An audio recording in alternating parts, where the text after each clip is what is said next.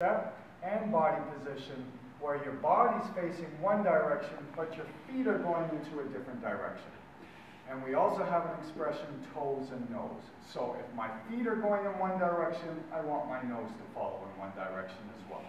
So the pattern, the gentleman steps left foot side, coming across with his right foot and stepping side together. So once again, stepping one, two, three, and one, two, three. From a different angle, I'm stepping, stepping left foot side and holding, and stepping across one, two, three. One, two, three, one, two, three. And now for the ladies' part,